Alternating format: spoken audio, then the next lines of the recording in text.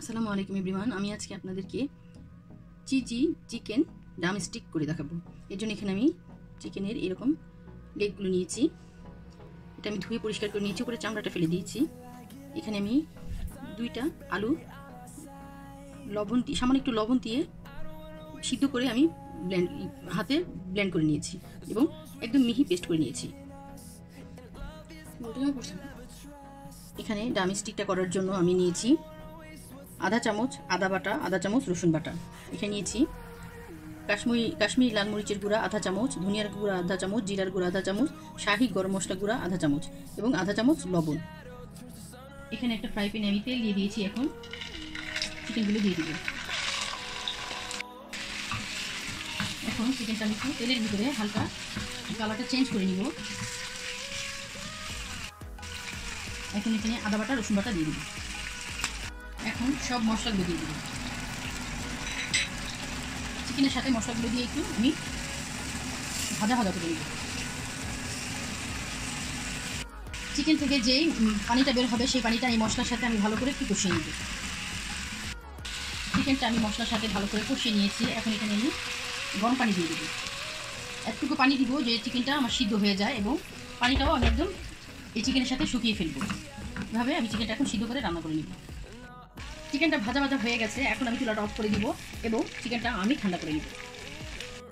এখানে আমি দুইটা ডিম নিয়ে নিয়েছি, এখন এখানে এক চামচ সয়া সস দিয়ে দিব, এক টেবিল চামচ টমেটো কেচাপ দিয়ে দিব। ডিমটাকে আমি ভালো করে ফেটে দেবো ডিম কেচাপ এবং সয়া সসের লবণ আছে এই জন্য আমি ডিমি লবণ দিইনি। এখানে আমি চিকেনগুলো হাত থেকে ছড়িয়ে নিয়েছি এবং আলু আলু নিয়ে নিয়েছি। এখন এখানে আমি আধা চামচ শাহি গরম মশলা দিয়ে দেবো। ধনিয়া পাতা দিয়ে এখন চিকেন, আলু ভালো করে মিশিয়ে নিব। বাইন্ডিংয়ের জন্য একটু ব্রেড ক্রাম দিয়ে দিব। এখানে এখানে একটা করে চিকেনের আমি বলগুলো করে নিয়েছি। এখন এটার ভিতরে আমি চিকেন স্লাইস দিয়ে দিয়েছি চিজ স্লাইস এখন এটা এভাবে আবার এভাবে ঢেকে নিব। আর এরকম চিকেনের বলটা নিয়ে স্লাইস চিজ স্লাইসটা দিয়ে এভাবে আমি চারপাশ থেকে আবার ঢেকে দেব। সবগুলো চিকেন ড্রামস্টিক আমি বানিয়ে নিয়েছি।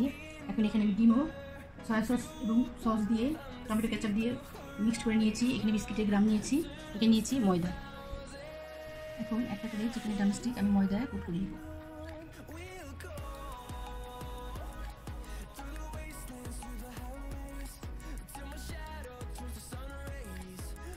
ময়দায় কুট করে ডিমে দিয়ে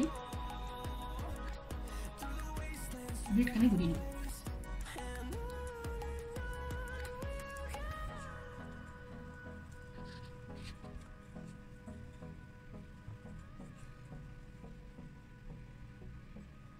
এভাবে এক একটা ড্রামস্টিক আমি বানিয়ে নিব। ডিমে গড়িয়ে আবার ব্রেড কামে গড়িয়ে নিব। ডাবল কোট করে নিলে এটা খোলার সম্ভাবনা থাকে না।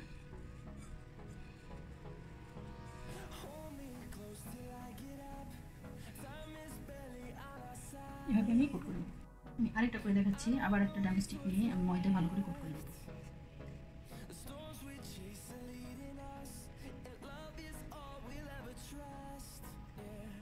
নেব। আবার বেড কামে কোট করে নেব।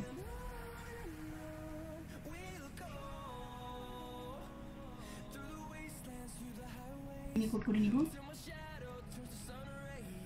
আবার বেড কামে কোট করে নেব। এভাবে ডাবল কোট করে আমি ড্রামস্টিকগুলো রেডি করে নিই সবগুলো ড্রামস্টিক আমি বানিয়ে নিয়েছি। এখন এটা দশ মিনিটের জন্য আমি ফ্রিজে রেখে দেবো। দশ মিনিট পর আমি ফ্রিজ থেকে ড্রামস্টিকটা নিয়ে এসেছি। এখন এখানে একটা ফ্রাই প্যান ফ্রাই প্যানে তেল নিয়ে নিয়েছি। এখন ড্রামস্টিকগুলো আমি ভেজে নিব। মিডিয়াম আছে, ভেজে নিব। কারণ ভিতরে আলু চিকেন সব কিছুই সিদ্ধ করা ছিল। এখন এটা উপরে হালকা হালকা আছে। ক্রিস্পি করে ভেজে নিব ব্রাউন কালার করে ভেজে নিব।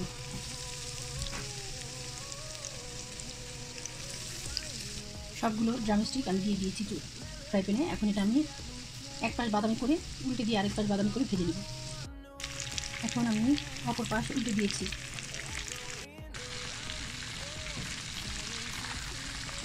ড্রামস্টিক ভাজা হয়ে গেছে, এখন আমি এগুলো উঠিয়ে নেব। সবগুলো ড্রামস্টিক ভেজে আমি উঠিয়ে নিয়েছি।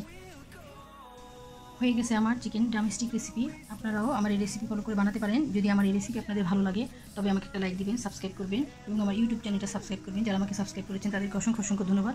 আর যারা এখন আমাকে সাবস্ক্রাইব করেনি যদি আমার রেসিপিগুলো আপনাদের ভালো লাগে, তবে আমাকে সাপোর্ট করবেন এবং পাশে থাকবেন। এবং আমার নোটিফিকেশন বেল আইকনটা বাজিয়ে রাখবেন, যেন পরবর্তীতে সুন্দর সুন্দর রেসিপি আপলোড করে আপনাদের কাছে আগে পৌঁছে যায়। আল্লাহ হাফিজ।